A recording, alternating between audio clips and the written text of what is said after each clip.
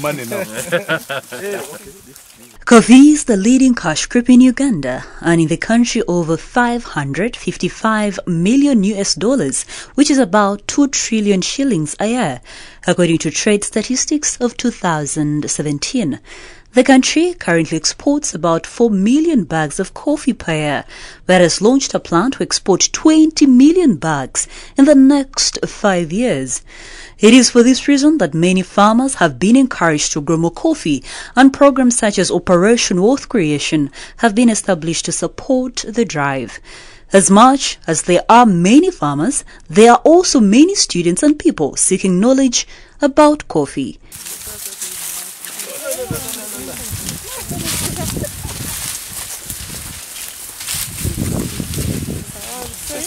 Recently, a group of 30 students from six African countries gathered at Rugyeyo Farm in Wakiso district to learn and share knowledge on the best practices and challenges faced by coffee farmers and other players along the value chain. The students, who are mainly company and organization heads under the Swedish Institute Management Program Africa, were drawn from Ethiopia, Kenya, Rwanda, Tanzania, Uganda, and Zambia.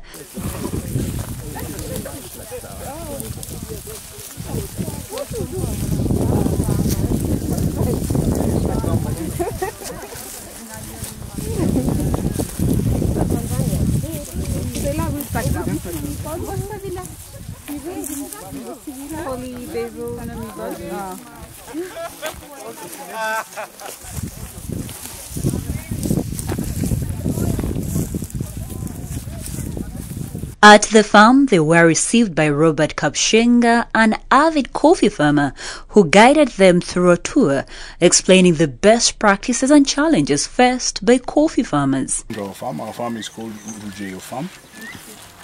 Thank you. We have approximately 50 acres of coffee. Uh, so this farm is mainly around, and I'll explain some of the logis- some of the, the business rationale.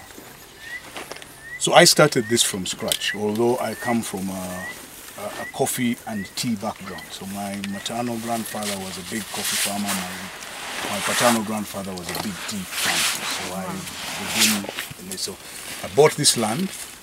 Uh, so this is my business together with my family. So we grow coffee and banana. And there's a logic, there's a very big business logic around it. Because in Uganda, we harvest coffee twice a year. So which means you only earn money two times a year. But the needs, the cash needs, the, the, the, the financial needs It's throughout. is throughout the year because you've got to maintain the farm, you've got to spend money on labor, you've got to spend money on pesticides, you've got to regenerate the soil, you've got to deal with uh, weeds and so on. So that means that you've got to have a counterpart crop that generates income on a more regular basis. Kabushenga took the students through the stages of planting coffee, starting with which kind of coffee a farmer should plant and how the fields should be prepared.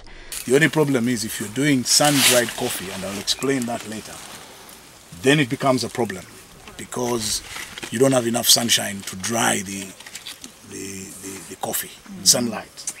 If you're dependent on sun-dried coffee. Okay. So, after you've identified the correct or the right planting materials, the other most important thing is something called field preparation.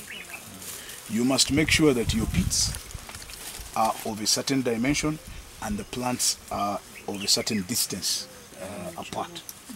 So, you should the pit should be two feet wide, two feet deep. So two feet wide, two feet deep. Then it should be 10 meters apart in each direction. I'm sorry, 10 feet, not 10 meters. yeah, I was going 10 feet. Yeah, 10 feet. 10 feet apart in each direction. Once you've got the perfect field preparation, the pits have manure, you now wait, and as soon as the first rain comes in, you plant. To have a good harvest, a farmer should have competent employees. It's not possible to say, I will have a policy of gender, and I'll tell you why. In an area like this, the women are also the domestic workers in their homes. So if you take her out of her home to come and work here all day, it means that the domestic chores at home are not being attended to.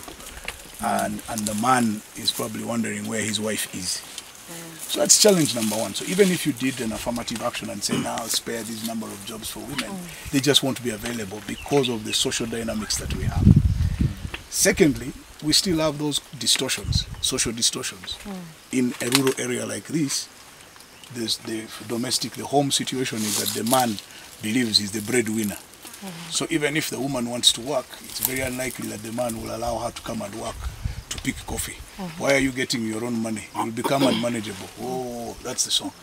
But for me, the more women I have, the better. Because then if they earn their own income, they are likely to do better with the money at home. The man is more likely to go and drink the money in the trading center.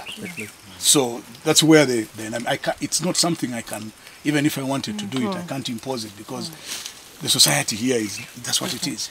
In terms of skills development, what have you done? You've talked about a lot of technical know-how in terms of food preparation. Uh, probably there's post-harvest uh, uh, processes that you need to be careful with. What are you doing in terms of empowering the staff, the workers? Are there any programs that they attend, or you specifically recruit with those that already have the skills? So I've recruited people that have skills, Uh-huh. but I have also paired them with young people from here. Learn how to spray, learn how to we pick coffee, learn how to treat the plant. One of our biggest problems, you probably saw fires burning as you are walking along. Yes. Mm-hmm. One of our biggest problem is a very small black insect called black coffee tree borer. So it goes into the tree and eats it from inside. Mm-hmm. Yes, so what we do is we, we cut the branches that are affected and burn them. Mm-hmm. So those skills are being passed on by the specialized people. So I have three fully trained coffee guys here who, who know what to do and how to manage. They went to school, they worked on a big coffee mm. plantation, and then they have six other young people that they work with and are trying to pass on the skills. Kabushenga gave a vivid demonstration from one of his coffee trees on how much productivity a farmer should get from a single unit. Move the, the, the others and you remain with three.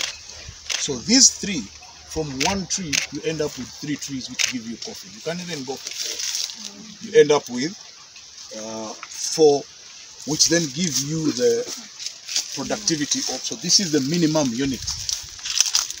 From this, your target should be to get. So my target at least is to be able to get the highest level of productivity for me should be 50 kilograms of what we call green cherries or fresh berries. 50 kilograms. The Ugandan standard is 7 to 8 to 10. I want to get 35 to 50. Now, to do that, you feed the tree with manure and fertilizer and water. So, uh, because you guys want to shade, you stay in the shade, I'll demonstrate what I'm demonstrating using this tree. So your natural unit is here. And these branches. So what you should go for as a farmer is to make sure that you have 24 branches on each stem. 24 branches on each stem. So that's, sorry, 24 joints on each branch. So that's 1, 2, 3, 4, 5, 6, 7, 8, 9, 10, 11, 12, 13, 14, 15, 16, 17, 18, 19, 20, 21. The minimum should be 16. The coffee at his farm is grown alongside a banana plantation. The students were informed that coffee is harvested twice a year. However, according to Kabushenga, the financial needs to maintain the farm are throughout the year. Kabushenga says the bananas provide both food security and additional income for food security. Every farmer has got challenges. Some of the major challenges at Rugyeyo Farm, Kabushenga shared with the students include fake agriculture inputs, lack of affordable qualified extension workers, and access to markets. Kabushenga says research information should reach the farmers for better management.